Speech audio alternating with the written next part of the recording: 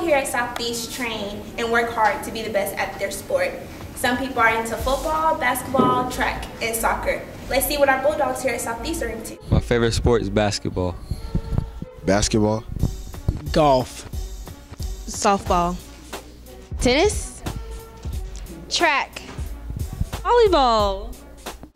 My favorite sport is track and field, shot put, and discus. Um, my favorite sport would have to be soccer. My favorite sport to uh, play would be soccer. Favorite sport to watch live would be hockey. And my favorite sport in general to just hang around and be with is football. I like to play football because it keeps me out of trouble and I can go to college playing football. What motivates me to play football is that I get to stay out of trouble, and plus I also can do something fun with my life. What motivates me to play basketball is my father. Me to play basketball because all the stuff that he went through in his life. I don't want to. My favorite football player is Chris Johnson.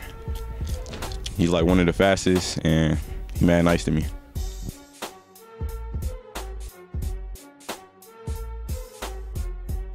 I like playing basketball because I'm able to play with other people and I'm able to build my leadership skills. And my favorite basketball player is LeBron James, King James. As you see, there are a lot of sports here that people are involved in, from track to football to basketball. As you see, all of us can relate to each other. This is signing out with your K9 News.